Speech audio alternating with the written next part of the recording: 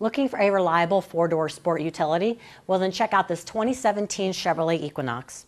There's a 1.5-liter engine under the hood and a six-speed automatic transmission.